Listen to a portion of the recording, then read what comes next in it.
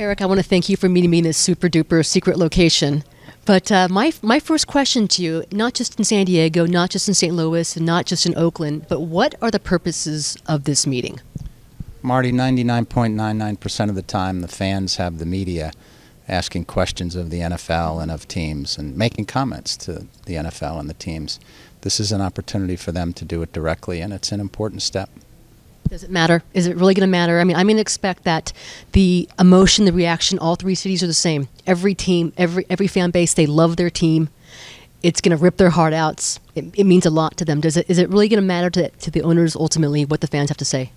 Yes, I think it matters, but I think it's also important to, to acknowledge that it's not one night, it's not one day, it's not one game. It's a long period of time of support that gets demonstrated, and this is a piece of that. I would also say that in the process of analyzing whether it makes sense for a team to relocate and ultimately uh, whether the owners vote yes or no on any particular application if it's made, the demonstration of support, people coming out to something like this, taking their own time to do it when it's not a game, uh, that does register. Um, will it will one moment of it or one statement make the difference? But no, the totality of it over a long period of time, with this being one event, does make a difference. I remember the first time that I think I met you back in Arizona at those original meetings, and I remember you said it would help if the city pays attention to what the team wants. Last week, Mark Fabiani says the team wants Carson. They would think about downtown if that doesn't work out. The city of San Diego just launched a video about their vision for Mission Valley. Is there even a point when they can't even agree on what the, on the location and they're not listening to what the team wants? I think there's always hope until the train has left the station. And I think there have been other times when teams have thought that it was in their best interest to go in direction A, only to change their minds and decide that direction B is the better course of action. And you, no one can tell how this is going to turn out. No one knows for certain which clubs will apply, if any. Mm-hmm. No one knows for certain what will happen in any of the three individual markets. And I don't think anyone has a perfect window into the mind of any of the three owners who really have to make these tough calls for themselves. So I think the right thing to do is to stay hopeful, and the right work plan is to produce the best possible outcome in each city. And then things will take care of themselves from there.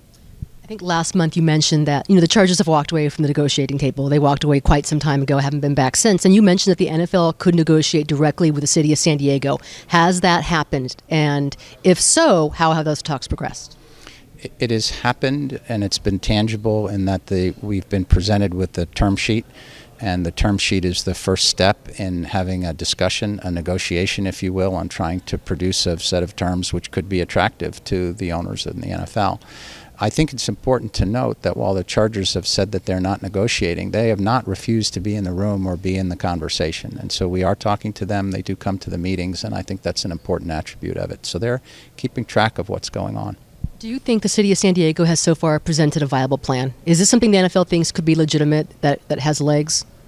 It's too early to tell, Marty. The, the, the point in time that you measure that is when either there's an alternative or when an owner wants to uh, wants the authority from his fellow owners to sign a lease or or begin construction of a project, either in the existing market or some other market. That's the time to measure whether it's a success.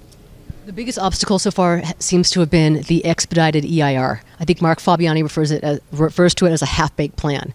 Not, does the NFL share the same views? What do you think of the expedited EIR that the, that the city completed? Well, I'm not an, a lawyer, and I'm certainly not an, an, environmental regulation expert. So we have to take into account the advice from all sources, from the city, from the Chargers, and from uh, independent uh, experts that uh, that are available to the league. I think the best thing, if the city thinks it can work, is to keep going down that path and seeing if they can get through each of the milestones. They've they they filed it. They've taken comments. They um, they need to adopt it. And uh, as those things go on, you can determine how big the risks are. Until then, it's somewhat guesswork by experts, but still guesswork. This may be a bit of a long-winded, long-winded question. The Chargers have been very protective of their 25% in Los Angeles, which is part of the reason for, for moving on this when nothing was happening in San Diego. The same token, I can't imagine Jerry Jones allowing another team to move within 90 miles uh, of the Dallas Cowboys. So that being said, if two teams go to Los Angeles, which seems which seems to be to be the plan, and San Diego loses one of their teams, how does that affect this market? If you're if you have two owners in Los Angeles and LA has no team, why wouldn't they try to protect and not allow a, third team within 90 miles? Well, the league has been very clear with all of the clubs, and um, the Chargers have acknowledged that San Diego, the San Diego market, and the Los Angeles market are two separate and distinct markets. The Chargers have played in San Diego and have done well mm-hmm. with one team in Los Angeles and with two teams in Los Angeles. So we uh, believe that that can happen again. Um, but I do want to make a comment on the Chargers organization and their staff and their success. It is a very, very well run organization. They have done a tremendous job, uh, even as their stadium has gotten older and older and more difficult to, to uh, get that job done well. And I believe that they will do well uh, wherever they go. Will you encourage San Diego to go back in talks with I mean, sorry, the Chargers to get back in talks with San Diego? Is there is there really no point until a vote is is made, perhaps early next year? Well, I encourage uh, any of the clubs in these situations, and it happens to be three clubs now, but there have been other clubs um, over the course of uh, the years I've been at the NFL. I encourage them constantly to be at the negotiating table. Why would you not be at the negotiating table?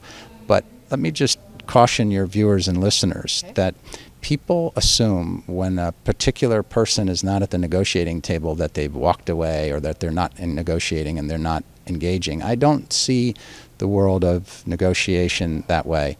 You can negotiate by being at the table, and you can negotiate by not being at the table. In each case, you're sending a message. Uh, sometimes you send someone on your behalf, sometimes you walk away from the table. That is all part of a negotiation when you're sending key messages about what your intentions are, what your views are. So I wouldn't take a simplistic view and say that just because someone's not at the negotiating table that they're not negotiating or not listening, I should say, and not engaged. In your opinion, what type of progress has have, has have they made progress since this process started early in January? Yes, I think it's uh, not. Um, it, it's inarguable. It's it, they've definitely made progress. There was no plan. There was no intention to put together a plan, and the mayor has uh, taken a leadership position. The county has joined him, and they're doing their best, from what we can tell. That has not produced an actionable, specific plan uh, that is attractive to uh, the NFL uh, or to the Chargers, but there is progress. Uh, Mark Fabiani says that the biggest hindrance has been that, that, that, this, that, they went ahead with CSAG. The five months they lost there, they didn't have time to go ahead and complete an EIR, EIR the way it should. If, if the city of San Diego thinks they're making progress, if they actually have some sort of plan together, why not delay a vote? Why does the vote have to happen? Why not wait one more year?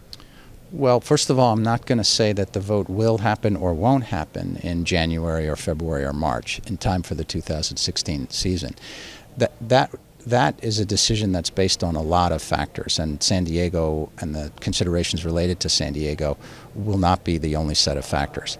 But at least when you look through it uh, through the Chargers' eyes, you have to understand that they and appreciate that they have been at this through many changes in leadership with many locations and many plans, and nothing has um, come about.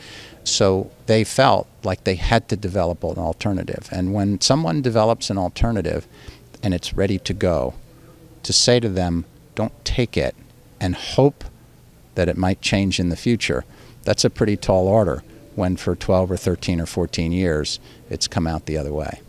Last thing for me, is there really is there anything fans can do? I mean, you mentioned, listen, you, you had the forum here tonight in San Diego. You, are going to have one in Oakland tomorrow. You had it in St. Louis yesterday. Is there anything fans can do? I mean, you can't blame fans if they're staying away and they're they're disenchanted and they feel abandoned. Is there really anything a fan in any of these markets can do when it comes to keeping their their their teams? It seems like this is a decision out of their hands. This is about the 32 owners getting together and they make the decision the 32 owners do make the decision. They analyze. They they ask us to analyze a lot of information that they can consider. Mm-hmm. And one of the pieces of information that's strongest is the fan support. And so, what I would say to the fans is support your team and support your community leadership that's trying to put this together. They have a hard job too. These are not necessarily popular decisions and they're not easy things to carry across the goal line. So, support the local leadership and support the team. That's the best the fans can do. Thank you for your time, Eric. Appreciate it.